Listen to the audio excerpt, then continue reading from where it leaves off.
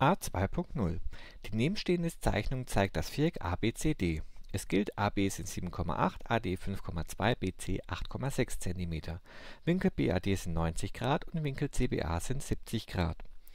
Runden Sie im Folgenden auf eine Stelle nach dem Komma. Am besten gleich markieren, eine Stelle nach dem Komma soll gerundet werden.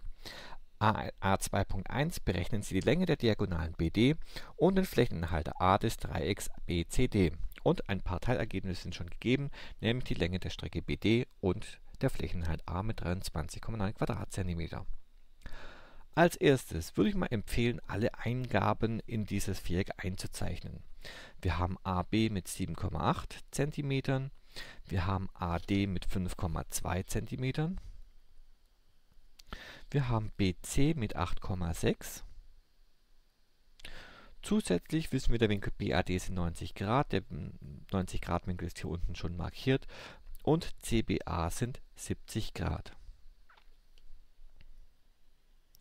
So, nächster Schritt. Was ist gesucht? Berechnen Sie die Länge der Diagonalen BD. Schauen wir uns uns an. Die BD liegt hier. Und als erstes gilt, berechnen heißt Dreiecke suchen, wo diese Strecke BD drin liegt. Ich habe jetzt hier gleich das Dreieck ABD genommen. Ähm, warum? Dieses Dreieck ABD ist rechtwinklig, also das wäre so die nächste Frage, ist es rechtwinklig ja oder nein? Wenn es rechtwinklig ist, funktionieren Sinus, Cosinus, Tangens und der Satz des Pythagoras. Also einen von diesen vier können wir auf jeden Fall benutzen. Äh, was haben wir alles gegeben? Was ist gesucht? Wir kennen zwei Strecken, nämlich AB und AD. Eine dritte Strecke ist gesucht und wenn zwei Strecken gegeben und die dritte Strecke gesucht ist, ist es eigentlich immer der Pythagoras. Also für die Länge der Strecke BD gilt ähm,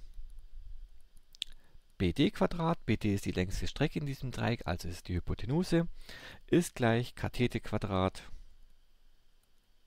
plus Kathete Quadrat. Also kurze Seite zum Quadrat plus kurze Seite zum, zum Quadrat. Dann setzen wir ein, BD wollen wir herausfinden. Ähm, AB Quadrat sind 7,8 zum Quadrat plus 5,2 zum Quadrat. Ja, Quatsch, die Wurzel kommt erst im nächsten Schritt. So, entweder kann man das jetzt mit dem Solver lösen oder aber, ich habe es ja gerade schon angedeutet, mit Hilfe der Wurzel. Und dann folgt daraus BD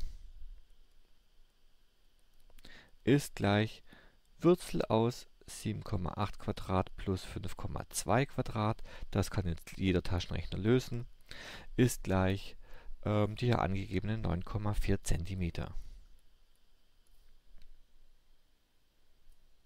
Schreiben es vielleicht hier dazu oder Solver, je nachdem welches Taschenrechnermodell man benutzt.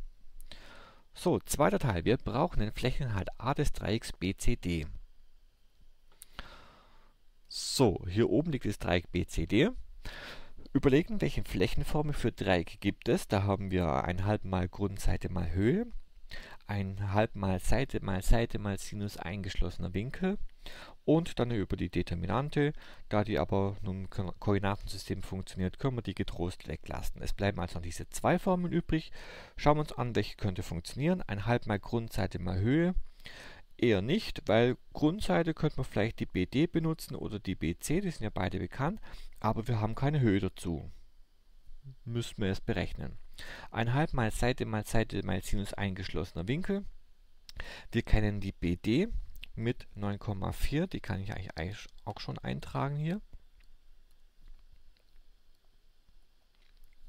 Und wir kennen die BC mit 8,6.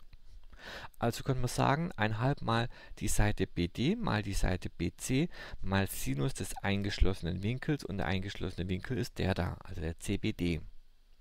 Den kennen wir jetzt allerdings noch, nix, noch nicht, also muss man auch hier irgendwas berechnen. So, ähm, überlegen wir mal, wie kommen wir auf diesen Winkel? Der Winkel liegt im Dreieck BD, äh, BCD drin. Ähm, wir kennen die BC, wir kennen die BD, aber mehr ist uns nicht bekannt. Das Dreieck ist nicht rechtwinklig, also würden nur Sinussatz und Kosinussatz funktionieren. Äh, für diese beiden Sätze fehlt uns entweder die, die Strecke DC oder ein zusätzlicher Winkel. So, wenn in dem Dreieck selbst nichts funktioniert, müssen wir das Dreieck wechseln und gucken, ob wir in einem anderen Dreieck was rechnen können. ähm, wenn ich jetzt hier diesen Punkt mal ausnahmsweise M nennen würde, hätte ich noch das Dreieck BEM, aber das scheidet auch aus, weil da kenne ich ja noch weniger, da kenne ich im Prinzip gar nichts.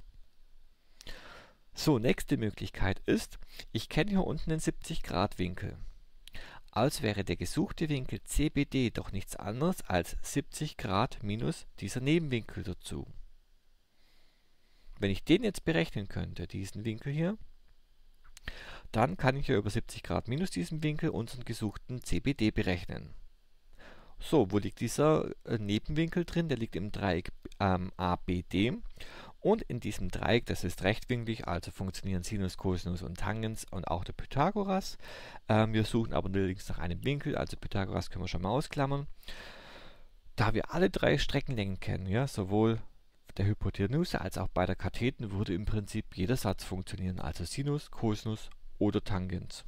Kann man sich einen beliebigen aussuchen. Ich benutze jetzt spaßeshalber den Tangens. Tangens wäre ähm, Tangens des Winkels ist gleich Gegenkathete durch Ankathete. Wenn hier der Winkel ist, liegt gegenüber die Gegenkathete, also das ist 5,2, die Strecke AD. Und die äh, Strecke AB mit 7,8 wäre die Ankathete. So, dann fangen wir mal an zu rechnen. Also, wir wollen den Flächeninhalt A des Dreiecks ähm, BCD berechnen. Wir haben herausgefunden, wir brauchen die Flächenformel 0,5 mal Seite, nehmen wir die BD, mal zweite Seite, nehmen wir die BC, mal Sinus des eingeschlossenen Winkels und es war der Winkel CBD.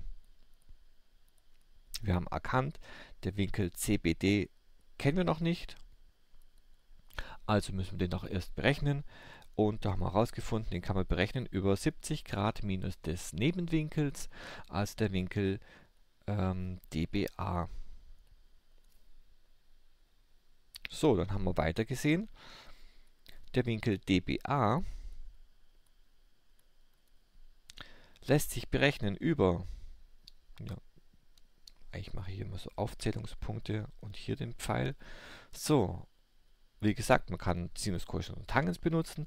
Ich wollte den Tangens ansetzen, also Tangens von Winkel dBA ist gleich. So, und jetzt Gegenkathete durch Ankathete. Die Gegenkathete war die Strecke AD und die Ankathete war die Strecke AB. So, setzen wir die bekannten Größen ein.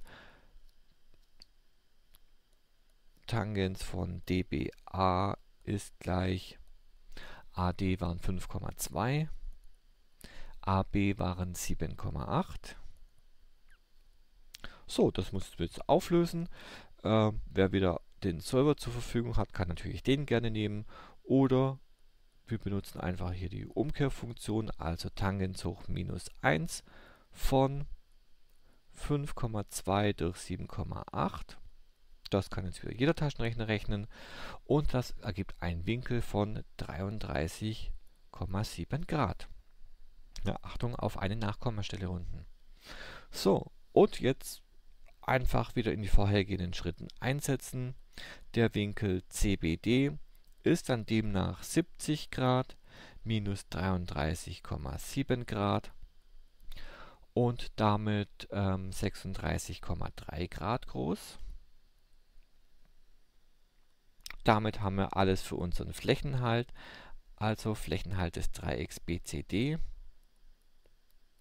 ist gleich 0,5 mal die Länge der Strecke BD, die haben wir gerade eben ausgerechnet, steht auch im Zwischenergebnis, also mal 9,4, mal die Strecke BC steht in der Angabe mit 8,6, mal Sinus von 36,3 Grad das tippen wir zu einem Taschenrechner ein und dann kommen die geforderten 23,9 Quadratzentimeter raus.